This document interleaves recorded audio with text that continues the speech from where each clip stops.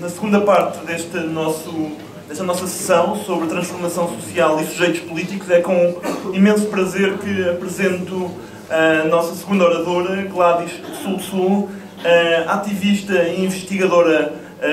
maia, quiché, da Guatemala. É alguém que tem trabalhado e feito investigação sobre sistemas de governo comunal nas comunidades indígenas. É, tem, tem um percurso académico que começando, tendo começado na Guatemala, levou ao Chile e finalmente a concluir o seu doutoramento em Sociologia pelo Instituto de Ciências Sociais e de Humanidades da Universidade Autónoma de Puebla, no México. Um, e, portanto, alguém que, tal como o Juan Carlos Monedero, num outro contexto, junta estes dois perfis que são uh, indispensáveis para refletir, creio eu, sobre os legados uh, da Revolução uh, Russa, da Revolução Bolchevique ativismo e investigação e ainda um trabalho enquanto perita uh, do sistema de justiça uh, guatemalteco em assuntos indígenas, portanto uma intervenção também nas instituições do Estado e fora das instituições do Estado, algo que também tem passado pelas várias intervenções deste, deste colóquio e portanto é com enorme satisfação que dou agora o palco à Gladys. Bem-vindo. Eh, muy buenos días. Eh, muchas gracias por la invitación al comité organizador, por todo el trabajo que realizó para que pudiéramos estar aquí. Eh, me ha dado mucho gusto conocer los debates que ya conocía de, del profesor Boaventura, pero también de las investigaciones que los colegas de aquí del CES vienen realizando. Eh, pues yo estoy muy contenta de presentar mis ideas con ustedes al respecto de eh, las nociones que he venido trabajando en mi tesis doctoral y ahora hago una adecuación al, del cuarto capítulo de, de, mi tesis doctoral que se convirtió en un libro que voy a dejar en la biblioteca eh, y que dado a que la conferencia tenía que ver con la Revolución Rusa, adecué este documento que le denominé las tensiones entre transformación y conservación de la tierra comunal, parentesco, uso y propiedad de la tierra. Eh, y es un debate que si bien es cierto, es situado en un contexto latinoamericano, em, donde tenemos una experiencia histórica de Estado diferenciado a como el colega ha presentado, eh, donde no precisamente el Estado se totalizó y no se totalizó porque existen una inconmensurable mayoría de pueblos indígenas que habitan tierras comunales. Entonces, uno podría construirse otra radiografía del Estado latinoamericano a partir de estas discontinuidades de las tierras comunales que por siglos se han eh, mantenido y conservado. Eh, creo también que hay que poner una serie de previos. Eh, el hecho es que los indios, los indígenas, somos ingobernables a pesar del genocidio, a pesar de las políticas de conducción, de las políticas ciudadanas de democratización, a pesar que lo que hacen es eh, desconocer, ocultar las formas de la política comunal que tiene genealogías diferentes a, digamos, las tradiciones políticas liberales propias de esta región eh, y que tienen efectividad claramente para esta región, pero que no necesariamente son efectivas para sociedades que se organizan en términos comunales como relación social a partir del el trabajo comunal como una forma de medida eh, y eh, producción asamblearia de deliberación y estructuras de parentesco o estructuras patrilineales que son el bastión de conservación de estas tierras comunales. Eso nos coloca en un punto contradictorio, porque se mueve en un doble registro. Nos empuja a la idea de pensar la transformación sin perder lo que tenemos porque varios eh, movimientos o varias luchas se articulan a partir de la defensa de derechos. las comunidades indígenas históricamente se han articulado por la defensa de la tierra, es decir, por los elementos concretos de la reproducción de la vida, de dónde viene eh, la tierra para cultivar, el agua que se toma, eh, los bosques reforestados que después van a pluralizar la ecología y hace fértiles las tierras. Eh, entonces, esas introducciones quería hacer y voy a leer para no, no divagar. Em, ¿Cómo conservar la herencia comunal de la tierra? ¿Cómo se conserva la tierra comunal y al mismo tiempo se alteran las jerarquías? ¿Cómo transformamos sin perder lo que tenemos? Estas preguntas pueden ayudar a presentar el hacer político pragmático, así como la incesante discusión de las mujeres indígenas en estos momentos álgidos de despojo de territorios. El inicio de la construcción de la respuesta de estas interrogantes me permitirá presentar una clave de transformación y conservación de los medios concretos para la reproducción de la vida, en el que las mujeres que vivimos en tierras comunales somos las principales defensoras y sujetas de su defensa. Eh, ensayo una explicación de cómo las mujeres indígenas en tramas comunales y en un territorio concreto se inscriben en relaciones sociales que dan cuerpo a la forma de la política comunal indígena. Así pues, existe una amalgama de estrategias para regular las formas de uso y las jerarquías que inaugura el parentesco como una forma de autorregulación social, que sin embargo ha sido producida como una estrategia defensiva de las tierras comunales ante el, progresivo proceso de desamortización de tierras en la reforma liberal. Esto ocurre en un universo general, para las regiones indígenas, claramente, no voy a generalizar. El en el gobierno comunal indígena, que tiene una presencia de larga duración eh, en América Latina, que considera el control comunal de las tierras y el autogobierno político, y que a su vez se contiene por las instituciones políticas comunales. Esta arquitectura de gobierno comunal presenta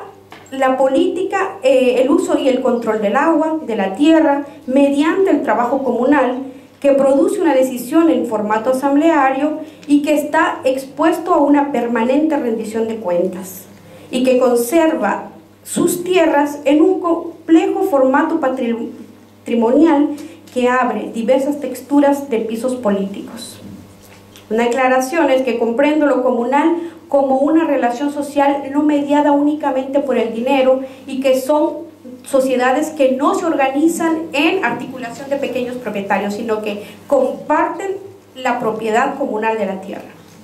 Aunque en este documento no voy a abordar una línea histórica, eh, sí preciso nombrar rápidamente que, que existe un despliegue histórico de la lucha de las mujeres y de los hombres indígenas por recuperar, regular y defender los medios concretos para la reproducción de la vida y las maneras de cómo desde las tramas comunales se establecieron los criterios para el pago de los tributos o las masivas rebeliones indígenas a lo largo de cinco siglos de colonia. Mi punto de entrada para pensar críticamente las luchas de las mujeres es la lucha por la conservación y el uso de las tierras comunales y todas las estrategias para cuidar de ella. A decir, la herencia comunal de la tierra y la defensa ligada a una estructura de parentesco que produce poderosos efectos en la conservación de la cohesión interna y a la vez tiene efectos de inhibición de las fuerzas de las mujeres, pues establece que se tenga que organizar la reproducción únicamente desde el formato matrimonial acotado, para incluirnos en la trama más general de la reproducción y la conservación del acceso a la tierra y a los bienes comunales. Ahora bien, el matrimonio como forma única de organizar la reproducción de la vida, o la más predominante, es un problema que compartimos una gran cantidad de mujeres en el mundo es una dificultad en términos materiales y simbólicos que van desde los nudos que expresan, se expresan en el régimen que registra la propiedad y los bienes por los que el hombre y la mujer trabajan hasta la tutela de los hijos. La carga simbólica que tiene procrear hijos sin padres y el lugar diferenciado donde la sociedad colocaría a las mujeres que no deciden reproducirse bajo el formato matrimonial. He ahí es importante discutir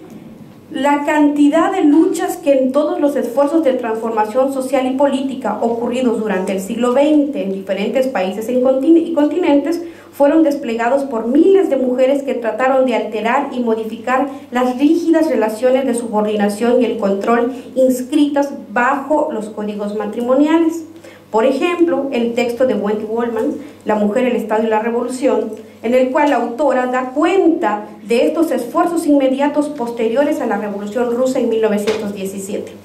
La crítica a la estructura familiar y al matrimonio como base de la familia y a la sujeción del cuerpo de las mujeres o al control del marido alcanzó una radicalidad solamente comparable a la belicosa reacción que durante el estalinismo buscó situar a las mujeres una vez más como productoras de hijos de la patria, confinándolas en un régimen familiar recrudecido.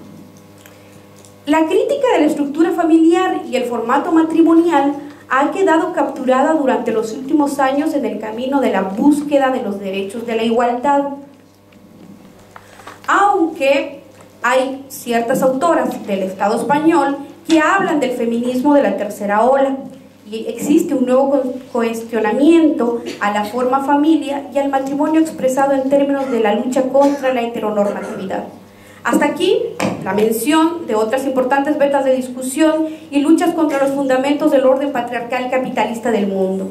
Menciono lo anterior, pues es mi interés dejar claro que las dificultades que las mujeres indígenas enfrentamos en las tramas comunales, en tanto el parentesco se organiza a través de linajes patrilineales, no es más que una variante al problema que un sinfín de mujeres confrontamos en la actualidad. Ahora bien, abordaré estas dificultades, procedo, a este, la singularidad de la forma de cómo se cobra el problema en los sistemas de gobierno comunal.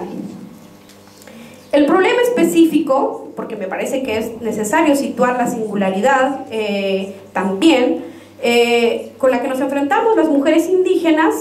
consiste en que la reproducción de la vida y la transmisión de la herencia comunal de la tierra en tanto se hace en clave patrilineal, nos coloca en un lugar en el cual somos empujadas a realizar estrategias matrimoniales de manera acotada frente a los portadores de los apellidos que, en el siglo XVII, compraron y defendieron la tierra comunal.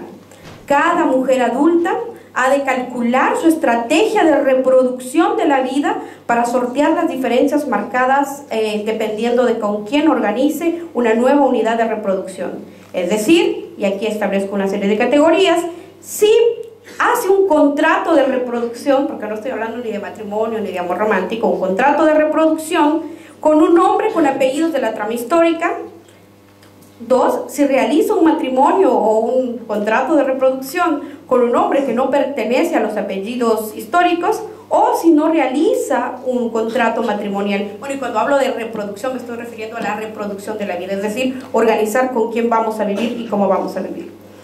En cada una de las situaciones antes descritas, el horizonte de las mujeres comunales al interior de la trama de la reproducción será frágil aunque la dificultad será distinta en cada caso. Una mujer que hace una estrategia matrimonial con un portador de apellido histórico negociará al interior de la familia su posición que siempre será mediada por su marido. Por otro lado, en el caso de una mujer cuya estrategia matrimonial no se realiza en el marco de los apellidos históricos, en caso de pertenecer a la trama comunal, tendrá una difícil posición pues su esposo no será fácilmente reconocido dentro, de la trama y sus hijos todavía tendrían más dificultades para ser parte de ella. El tercer puesto, aquel en el cual una mujer no hace contrato matrimonial para establecer una nueva unidad reproductiva. En caso de que la mujer tenga hijos, tanto ella como su progenie gozará de las prerrogativas y beneficios que brinda la trama comunal, aunque será confrontada por la violencia simbólica ejercida desde un orden simbólico patriarcal que la colocará como mujeres sin hombres o como hijos sin padres. El problema pues que confrontamos las mujeres que habitamos tierras comunales, la abordaré bajo la clave de pensarlo como una inclusión diferenciada en la trama comunal. Decido llamarlo así pues de esta manera evito el acercamiento basado en el par analítico inclusión-exclusión, propio de la cultura liberal. Si el llamado, eso que se llama, problema de las mujeres indígenas, se aborda desde la clave inclusión-exclusión, se asume, de hecho, que las mujeres están excluidas de la trama comunal, lo cual, tal como he argumentado a lo largo de estas páginas, es falso. No es casualidad, pues, que quienes realicen talleres de género sin comprender la potencia de lo comunitario que garantiza colectivamente la reproducción de la vida a varones y mujeres, proponga y a veces imponga de manera irresponsable un horizonte de igualación propia de sujetos abstractos, no de personas concretas que sistemáticamente conservan sus bienes colectivamente, organizando en linajes las tareas de reproducción y en general de la reproducción material y simbólica de la vida.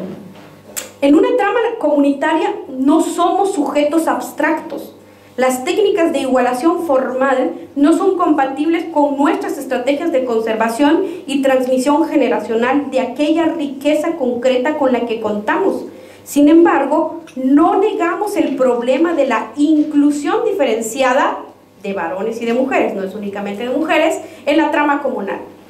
Este es un problema central y en los siguientes minutos eh, presentaré una postura que no propondrá soluciones, pero que apelará a que la expresión clara de la problemática habrá cauces a nuevos procesos de autorregulación de la trama en su conjunto. Mi intención, pues, es justamente la clarificación de un problema como paso previo a, que mi, a mi condición de mujer, porque en esta trama comunal es donde vivo, digamos, la estudio, pero es también donde yo vivo y es un problema que me afecta eh,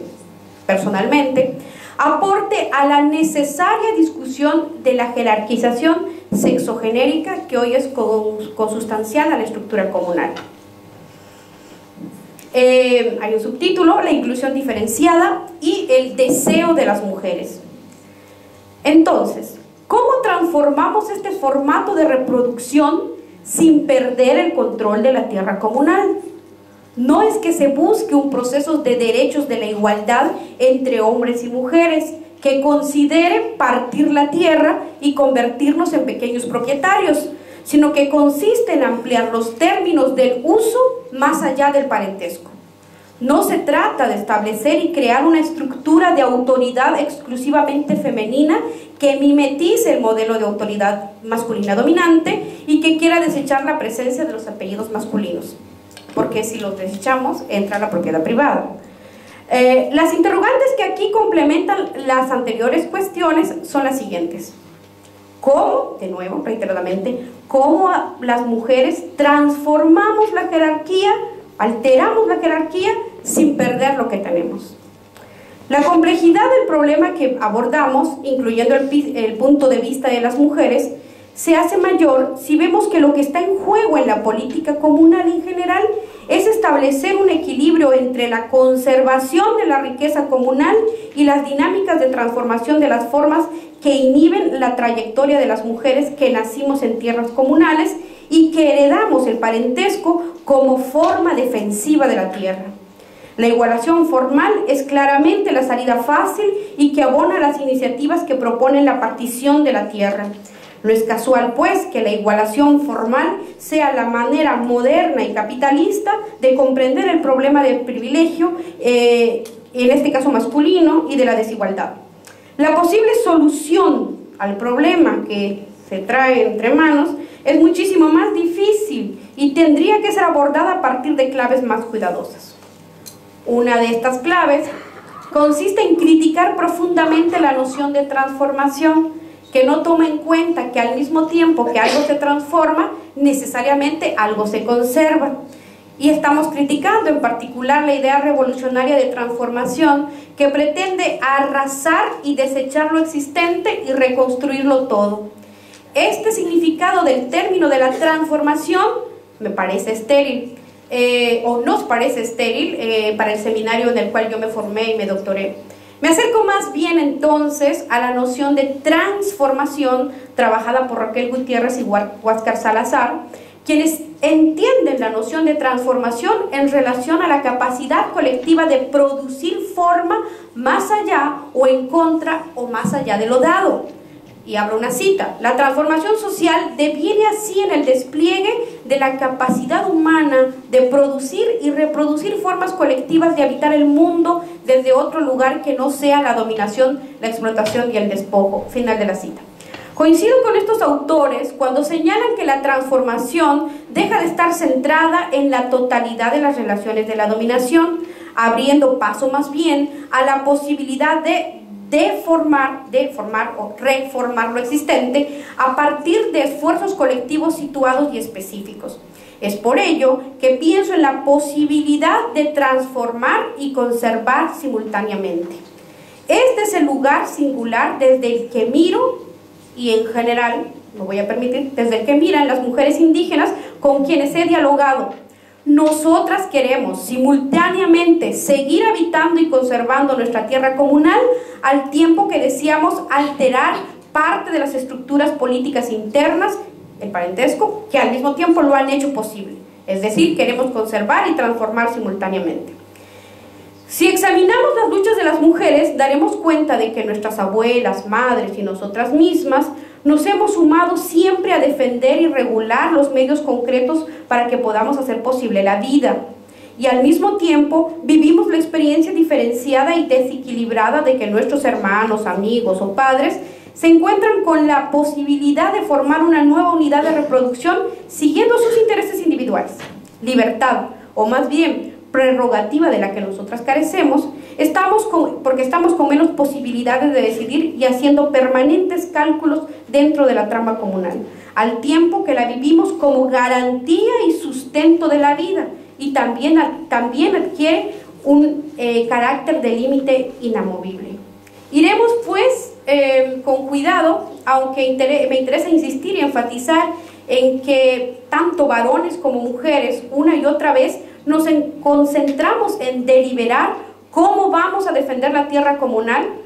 y, digamos, eh, es, esto es central porque la actual política de crecimiento económico en Latinoamérica tiene el extractivismo como su principal bastión y está eh, invadiendo y despojando tierras comunales. Y una de las estrategias para romper eh, las tramas comunales es argumentar que las mujeres no somos propietarias de la tierra y es preciso un proceso de cotitulación, pero un proceso de cotitulación es únicamente compatible con la propiedad privada, no con la propiedad comunal. Por eso este,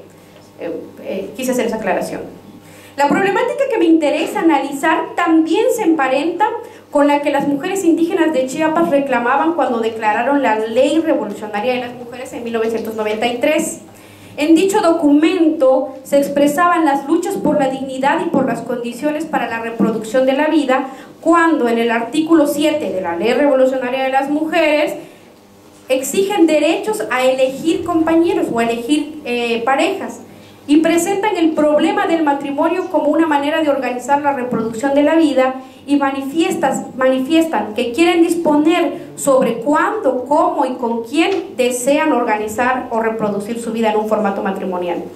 Lo mismo ocurre en su apelación por una participación plena en los asuntos comunales, en la que impugnan los mecanismos para producir la decisión sobre la tierra y sobre el destino que ellas mismas quieren dibujar para sí mismas y para sus hijos e hijas.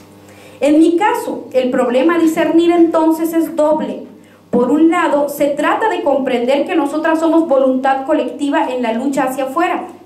en la cual nos esforzamos junto a los varones para conservar la base material de nuestro sustento y nuestra riqueza colectiva, aunque por otro lado vivimos diferenciadamente la vida comunal al interior de la trama dependiendo del género que portamos. Parafraseando Spivak, la sociedad doméstica moldea a la sociedad política y eso es lo que sucede con las tramas comunales que despliegan luchas que abrevan desde las unidades de reproducción. De ahí el carácter estructural de las mujeres en la trama, a pesar de quedar muchas veces invisibilizadas, dando la negación moderna del mundo de la reproducción. Y es justo desde ahí, desde una mirada moderna, predominante, masculina del mundo, es de donde se puede calificar las actividades de las mujeres y su presencia como marginal. Sin embargo, En tanto, son las mujeres quienes se hacen cargo de la economía para el sustento de la vida, mientras, mientras son las que organizan las comidas en las fiestas, las que se encargan de alimentar a las multitudes en las grandes rebeliones, su fuerza es la que emana del mundo cotidiano producido desde las unidades de reproducción donde ellas son fundamentales. Es relevante tener en cuenta que en tanto lo comunal se encuentra permanentemente agredido, la defensa y regulación territorial son el campo desde donde se han de comprender las luchas de las mujeres, la potencia y los límites concretos a sus maneras de empujar las transformaciones. El punto duro, pues, es la tensión entre la conservación y la transformación y consiste en que sí, las tramas de parentesco aparecen como una estrategia jurídico-política que declara la propiedad comunal sobre la tierra y de tal manera que esa ha sido la estrategia para poner un freno al avance de la propiedad privada tal como he ido argumentando. Sin embargo, estas tramas de parentesco al mismo tiempo moldean las formas del uso y, de la herencia de la tierra, estableciendo formas de inclusión diferenciada. Por eso pienso el problema a la luz de la atención transformación-conservación, pues la mirada coloca a las mujeres indígenas en un campo de poder, donde ellas son activas protagonistas por y desde la tierra comunal y, por lo tanto, aparecerían como hacedoras de estrategias jurídicas y políticas que garantizan la perdurabilidad de la tierra en la política comunal. Más allá de esta difícil situación personal, porque es mi situación personal, nos enfrentamos directamente con los problemas de cómo conservar la tierra comunal frente al embate de expropiación que ejerce el Estado, pero que al conservarla también producimos las condiciones para que las mujeres, las mujeres podamos disponer de nosotras mismas sin las, sin las presiones de la situación matrimonial que altera nuestro acceso a la tierra comunal dependiendo del marido que elijamos. Nos confrontamos así a una doble estrategia que necesita transformar para garantizar la conservación y para conservar a largo plazo se necesita transformar una parte de las relaciones sociales. Lo más duro es que cuando el Estado intenta invadir la tierra comunal, controlarla, la principal forma de defensa para las comunidades es exhibir títulos de propiedad donde se registran que los, son los apellidos patrilineales los que detentan la propiedad. Esta es una dificultad de la cual las mujeres también nos tenemos que hacer cargo porque somos nosotras las que vamos a parir hijas o hijos y deseamos que sigan viviendo en tierra comunal. Recapitulando, eh, la triada parentesco, uso y propiedad de la tierra que estoy examinando exhibe las tensiones y dificultades que cobran las luchas de las mujeres indígenas que habitamos tierras comunales. Dificultades que no pueden ser reducidas a una lucha contra la exclusión, y que más bien cobran otro significado al pensarlas como esfuerzos por pensar los términos de transformación de la inclusión diferenciada al tiempo que mantenemos como prioritaria la conservación y defensa de la calidad comunal de la tierra.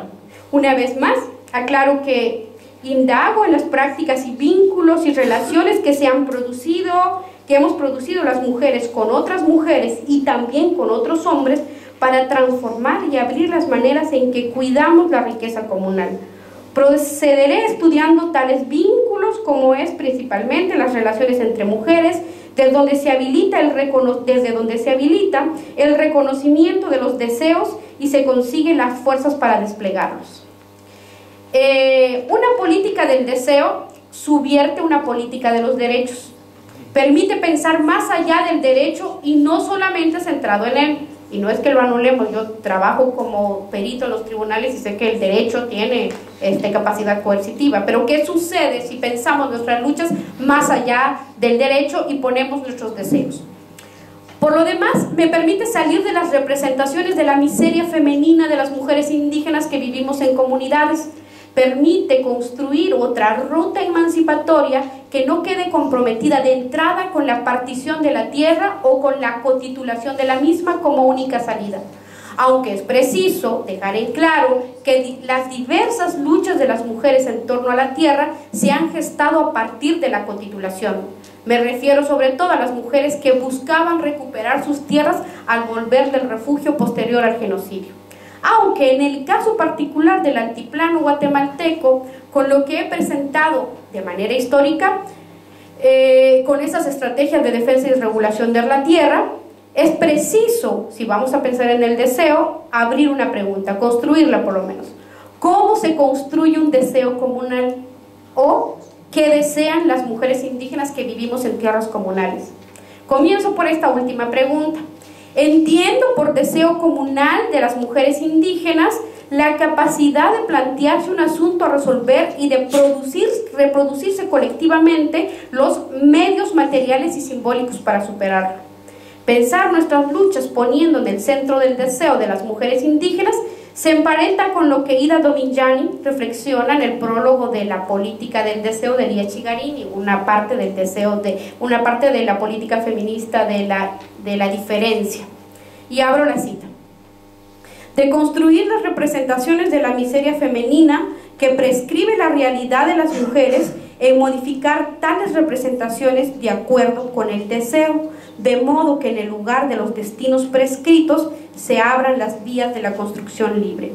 Lía Chigarini y la corriente feminista en los años 70 piensan de la política del deseo para evitar quedar capturadas en lo que ellas denominaban política de los derechos particularmente en relación al derecho al aborto legal y seguro, tema central de la discusión del feminismo italiano por esos años. Las experiencias ganadas en estas luchas fueron posteriormente reflexionadas sistemáticamente por un conjunto de filósofas que se agruparon bajo el nombre de Escuela Filosófica Diotima, cuestionando el horizonte de la igualdad en la política feminista centrada en los derechos. En cierto punto, en la equiparación de los derechos de las mujeres a los de los varones, ellas comenzaron a plantear un feminismo de la diferencia centrado en el despliegue del deseo femenino. Cierta deriva de la política del deseo redujo este último a deseo erótico y abrió un vasto campo de discusión que ha enriquecido el debate de las mujeres en los últimos años. Más allá de este énfasis de lo erótico, la discusión de una política del deseo ha versado sobre la posibilidad de desplegar las capacidades femeninas o el hacer de las mujeres contra y más allá de lo permitido por el orden del dominio masculino. Es decir, la política del deseo, más allá de su comprensión como deseo erótico, es un pensamiento que se centra en la subversión de los límites impuestos por el carácter patriarcal del orden social y en, una gran gama de aspectos. Así pues, el deseo de las mujeres indígenas contiene múltiples rostros y aquí me detendré en unos que reiteradamente se enuncian en, en, las asambleas comunales, en los talleres o en los levantamientos y que se nombra más o menos de la siguiente manera. Que la tierra se use comunalmente y se herede a las generaciones siguientes, no únicamente por el parentesco. Este deseo contiene una potente fuerza anticapitalista, que la tierra no sea usada como propiedad privada y que el control y uso de los medios concretos para reproducir nuestras vidas sea deliberado. En este es un deseo en parte cumplido y en parte no, pues las tierras comunales han sido la principal estrategia para la vida y la resistencia a largo plazo, pero al mismo tiempo también ha producido la jerarquización de la inclusión en tanto somos mujeres. Las preguntas acerca del deseo de las mujeres indígenas son ambiciosas porque son plurales y rebasan la capacidad en una conferencia. Pero me animo a esbozar un contenido porque existe una serie de discursos permanentemente enunciados en asambleas comunales, en las fiestas, en las reuniones, en los talleres y en los grandes levantamientos. Discursos que son movilizadores en las grandes marchas y manifestaciones. Por ejemplo, esta tierra es nuestra, esta tierra comunal es nuestra, queremos vivir en esta tierra con nuestros hijos y nuestras hijas y nuestras familias. La claridad con que se enuncia el compromiso de las mujeres con la propiedad comunal no puede seguir opacado por la incomodidad en la que nosotras nos vemos compelidas a desarrollar estrategias y cálculos matrimoniales eh, antes ya analizados. Es decir, existe un problema de jerarquización y de inclusión diferenciada que es necesario transformar al tiempo que conservamos la calidad comunitaria de las tierras y sus bienes. Si este es nuestro campo estratégico de lucha, entonces las mujeres indígenas desplegamos una serie de tácticas para organizarnos la vida, esforzándonos en burlar al poder y al orden simbólico. Esto es, queriendo escapar de la certeza de los discursos y prácticas que quieren constituirnos y ajustarnos a la dicotomía obligada entre víctimas y heroínas. como he mencionado en las páginas anteriores, disponer de una misma, en este caso, se refiere a las tácticas para agenciarnos de los medios y los recursos para construir los hilos de la vida personal mismos que emanan de la experiencia y los medios comunales concretos. Todo esto significa un permanente ejercicio de reconocimiento de nuestras fuerzas y nuestros límites y de las posibilidades para organizar nuestra vida comunal con otras mujeres y con otros hombres, en términos más cooperativos, menos jerarquizados, es decir, más autorregulados y equilibrados. Eh, Marinette García Canal es una profesora argentina que vive en México y que escribió un texto sobre la historia de las mujeres y tomo una cita de ella. A las mujeres en las prácticas se les ve actuar vivir la cotidianidad, establecer vínculos y relaciones, hacer trampa y resistirse, pero también se perciben sus dolores y sus penas en las prácticas que se desentienden y se desmienten, discursos insistentes y machacadores que buscan producir, practicar, dirigir y ordenar. Vistas así, las mujeres están inmersas en los acontecimientos políticos sociales como agentes sociales que actúan, pactan, luchan, aceptan en sus relaciones con los hombres y con las instituciones. Las mujeres, pues, no somos entes libres, y bueno, tres minutos más, eh, porque Monedero se ha pasado también, entonces, este, eh, las mujeres caso omiso de las circunstancias en las que estamos colocadas y que limitan nuestras capacidades de decisión. Más bien nos hacemos cargo de tales circunstancias y por eso hemos interpretado que tales límites proceden de la estructura del parentesco y su carácter paradójico y dual, de garantía de defensa y de estrategia conservadora que también marca imposibilidades. Justamente en este sentido podemos hablar de un deseo comunal y también de un específico deseo de las mujeres comunales que no es divergente pero que tampoco es idéntico. Eh, no hay que perder de vista la contradicción entre propiedad y uso,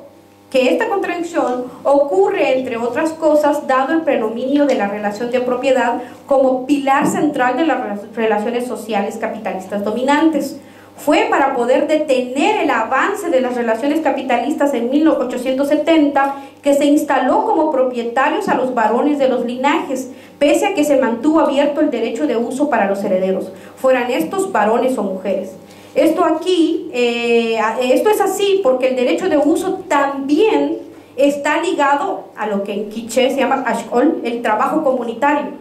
De hecho, las mujeres cuando presentan reclamos para impugnar las jerarquías y para defender los derechos de uso igualitario, aluden por lo general al trabajo general que ellas aportan. Y abro una cita, aquí todas trabajamos parejo, entonces todas podemos decidir qué se hace con la tierra comunal. Nosotras trabajamos comunalmente y por eso también podemos decidir sobre la tierra.